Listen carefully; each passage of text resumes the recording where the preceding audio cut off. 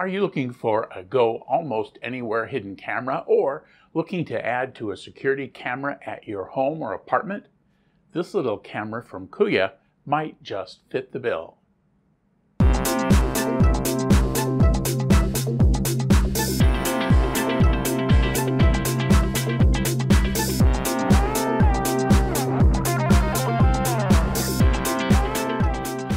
Qouya Hidden Wi-Fi spy camera is one of many small or disguised IP cameras available on the market.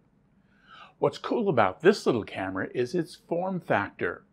As you can see in the photo, the camera's electronics and battery are separated from the camera lens itself by a ribbon cable that allows you to place the lens in a very discreet location several inches from the larger circuit board and battery.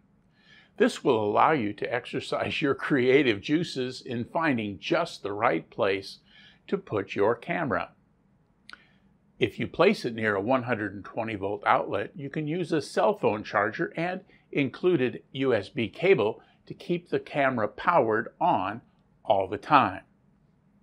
Before we look at the camera in more detail, a little disclaimer. Your state or country probably has laws regarding making recordings from hidden cameras.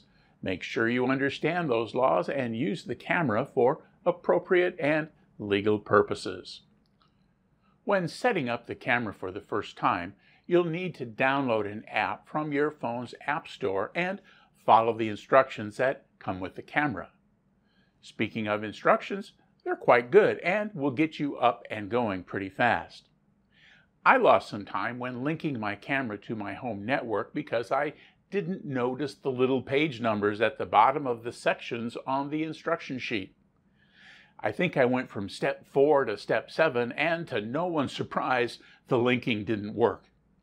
After noticing the page numbers, I went from page four to page five to page six and so forth, and things worked completely as described.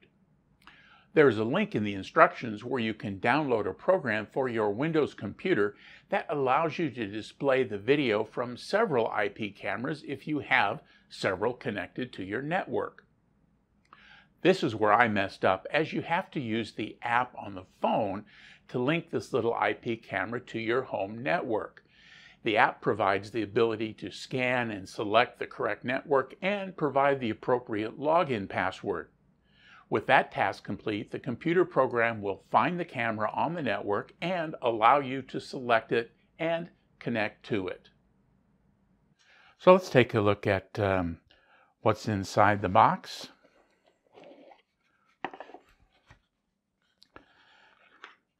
So here is the, uh, the camera itself. You've got the circuit board and various electronic components of the camera are right here, the Wi-Fi antenna, and then the uh, DC plug on the little JST plug right here. Uh, and then on the end of the um, ribbon cable is the camera itself, and you can see there are a couple of little ultraviolet kind of uh, uh, bulbs mounted there at the end of the camera as well. So that's the, the working part of the camera. I should note that there's a little stickum uh, glued to the back of that camera plate so that you can, uh, you know, mount it to something firm.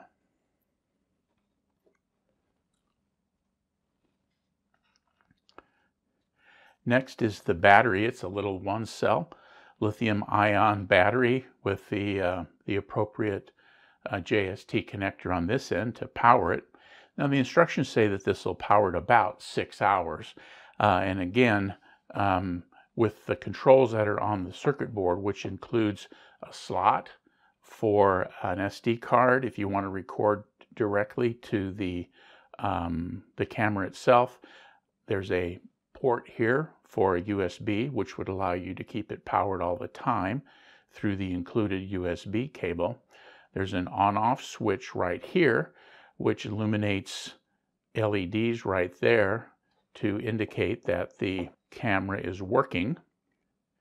And then there's a record button right there that you can press that will get the LEDs flashing, uh, indicating that the camera is running.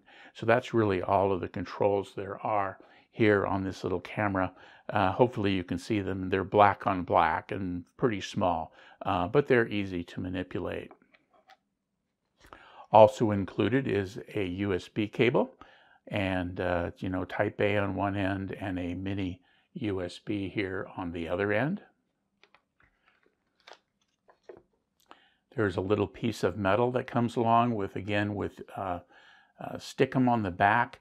Uh, this you could stick to a surface, and then there's a magnet here on the back of this um, circuit board box, which would allow you to, to mount this somewhere um, in, uh, very discreetly. So that's, uh, that's pretty handy. There's a little marketing material here, which includes some of their other products as well as chargers and other things that they have available. And then the instruction or first start guide. And uh, this is pretty good. It's in color. It's got screenshots. It's in both English on one side and Chinese on the other side. And the English uh, is, is pretty good. They're very easy to follow. Um, here is the, uh, each little section has got a page number on it here. And uh, as I mentioned earlier, that's where I messed up going up and down instead of along with the uh, page number. So I would caution you to do that. But other than that, the instructions were uh, very good. So that's what comes with this little uh, SpyCam kit. Uh, let's take a look at some of the videos and some of the other photos that you can expect to get when you put this into action. Here's a quick look at the phone app on an Android device.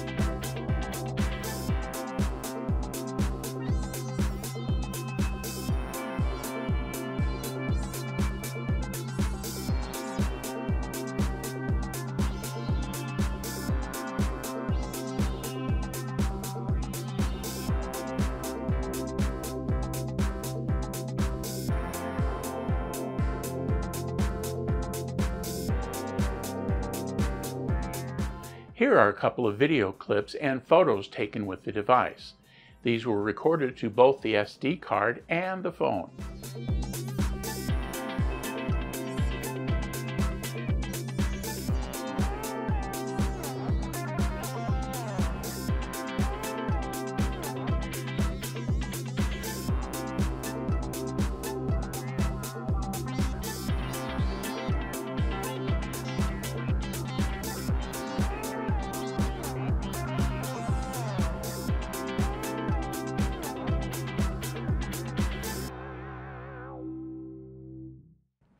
Finally, here's a screenshot of the IP Multi-View program on my Windows computer.